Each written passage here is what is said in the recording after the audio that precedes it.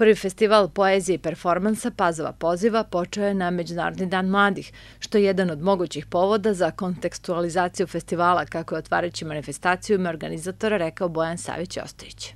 Zamislili smo festival koji će da e, veću pažnju pokloni samom nastupu.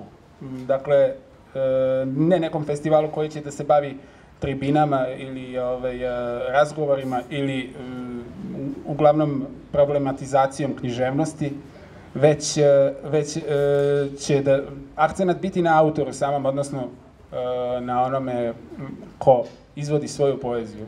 Ove prve večeri festivala Slađana Šimrak je predstavila Zidne novine kao periodično izdanje i najavila predstavljanje petog broja džubujanja i pesničke večeri na kojima će svoju poeziju govoriti mladi autori. Pored letnje pozornice otvoren je sajam pesničkih izdanja izdavača iz Kraljeva, Novog Sada i Pančeva.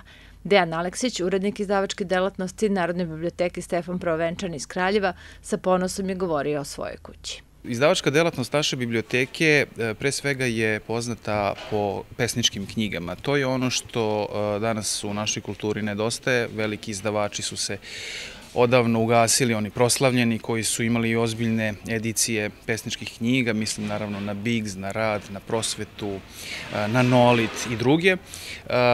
Ostalo je upražnjeno mesto. Poezija, odnosno pesničke knjige, naravno nisu profitabilna književnost i verujem da je to jedan od razloga što današnje moćne izdavačke kuće e, najčešće nemaju e, produkciju pesničkih knjiga. Nekako je ta produkcija spala na ili biblioteke ili razne kulturne centre i sad kako se tu, koliko snašao. Mi smo imali sreću da se u jednom trenutku, a to, e, taj trenutak je bio sredinom 90-ih, u Kraljevačkoj biblioteci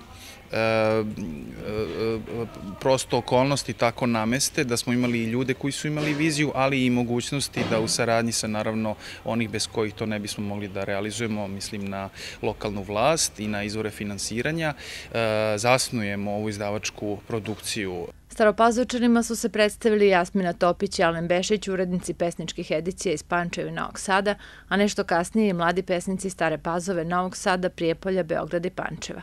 Prvi festival poezije i performansa Pazova poziva organizovali su istoimena neformalna grupa Kancelarija za mlade i Udruženje građana Knjižuljak uz podršku Centra za kulturu, generalni pokrovitelj manifestacije opština Stara Pazova.